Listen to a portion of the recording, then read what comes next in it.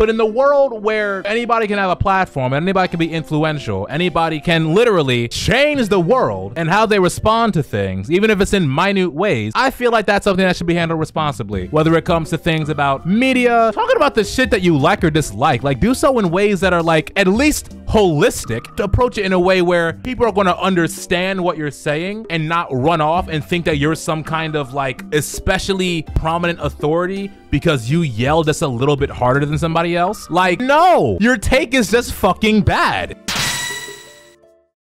And like a big thing people are harping on is the diamonds are redeemed too quickly. Well, yeah, they wanted to more. So, dude, do not get me started on that stupid fuck ass criticism, yo. I'm going to assume you're familiar with the very specific YouTube video that was making the rounds that critique that series that I'm not going to name because it was taken down and like I don't even feel like speaking that shit back into ethereal existence, but I'm pretty sure you know what I'm talking about. The video that the creator himself disavowed or the other one by a chud. Actually, I forgot about the one by the chud.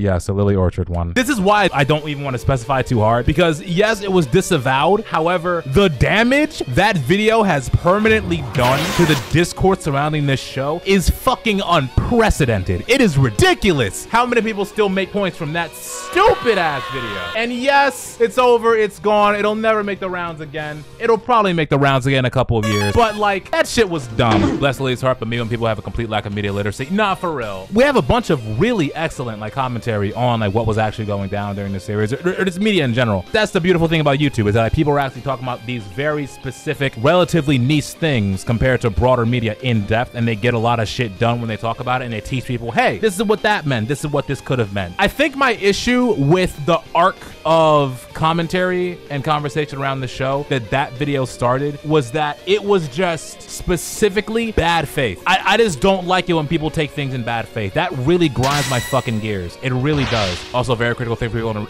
people on the internet to realize. You can just disavow and disengage. You can. But at the same time, this might sound a bit extra, but there's a certain responsibility that you carry when you do put these things out there, right? And for a show that has been, and I'm, I'm talking about the show, but I'm talking about I'm talking about it in a more broader sense here. When there's something that is like as unequivocally good and positive. That has brought positive things and positive creations and positive influence on the people's lives. At a show like that and it's gonna apply to anything but at a show like that and you have a platform where you can really like help people understand this thing from all angles get some of that media literacy.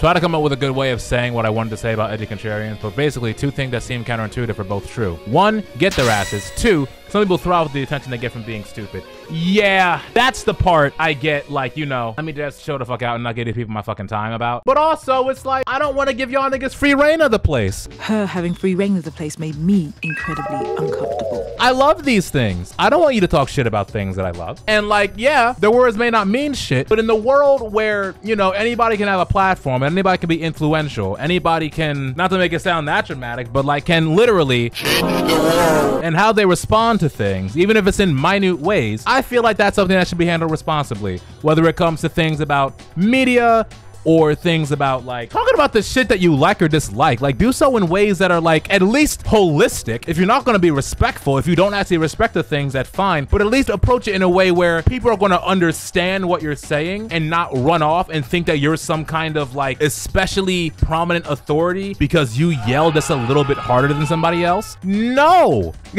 your take is just fucking bad. You're not looking at things from the full fucking angle. Like you are looking at it from narrow views that may be correct in some respects or may have some degree of accuracy to it. But if you leave the message half cooked, you're not getting the right message across. You're not even serving the purpose that you want to serve in terms of outlining what here is wrong and what here is not. You're not interested in that. You're interested in just getting your fucking word out and having people go, oh, you're so right.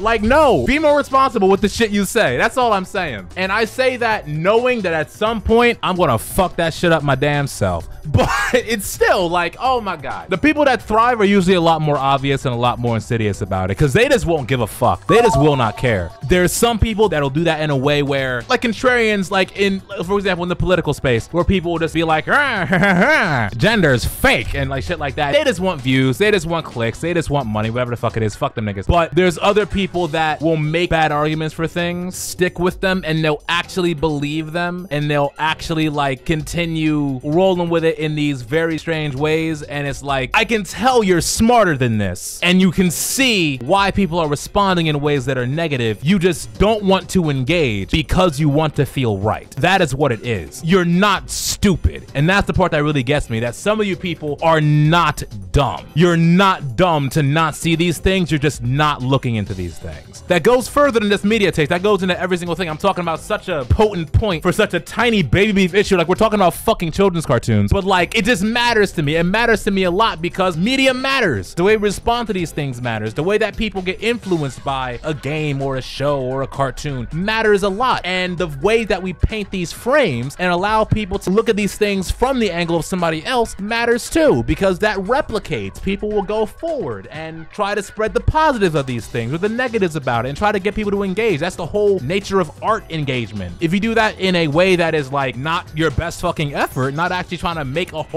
good faith case for this shit, then what, what are you doing? What are you doing?